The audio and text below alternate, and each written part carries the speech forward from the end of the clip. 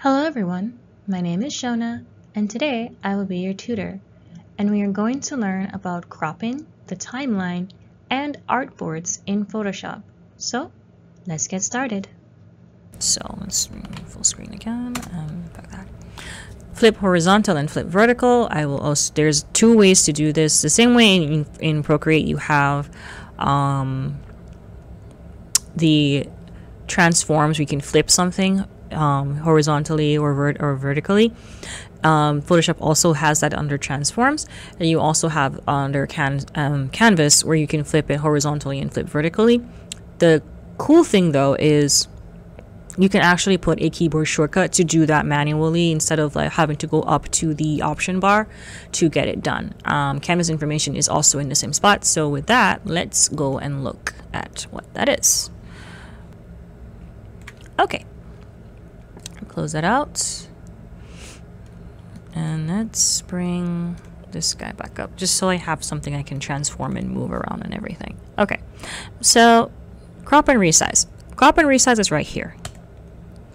So you can crop it this way, that way, all that lovely stuff. Um, and of course you can undo it, Control Z or Command Z.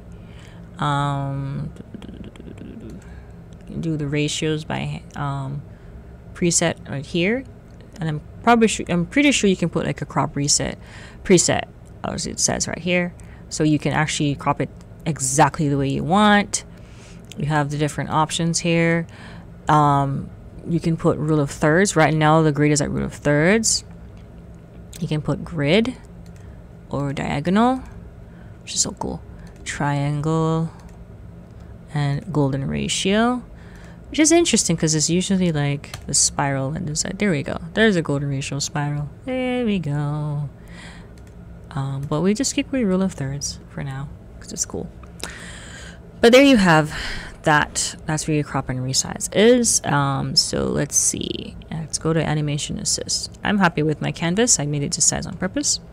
So if you go to window and scroll down to where it says timeline, you can see here the option to create a video timeline. And you'll also once you do that you'll get like um, an animation um, tab that comes up right here. And you'll also be able to switch to the storyboard side of the timeline instead. And that's how you want to that's how you get to animate in Photoshop. Okay um let's see. Right now I don't want the timeline so let's get rid of it. Go away. I don't want you Go away. Fine. I will manually close you because you don't want to listen to me. Okay. Okay. Like I said, page assist. Um, that is technically what you would consider the artboards. Ah, there it is. The artboard tool. It's on the move tool. I knew there was a little option. So let's zoom out for a sec. You can do this and match the size the best possible as you can. There. There's your artboard. Now you can add another one here, another one here. That would be your page assist. And you can see over here it changed from board. There we go. It changed from regular layers to artboard and you can notice it has different options in here. So you can add like new layers to this. Let's move this here for a sec. There.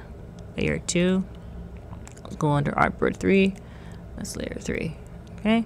And you can do different things with it. Now I obviously don't want artboards so I'm gonna go back to my history and remove it there we go history is your best friend Okay, so that's how you would get the page assist. That is how you, if you wanted to create like um, PDFs, if you like, and you wanted to put different um, images onto different pages and actually create like a PDF from there, that is how you would do it. I hope you could follow along. The next topic will be about rulers, guides, and grids in Photoshop. I hope it helps. See you on the next one. Bye.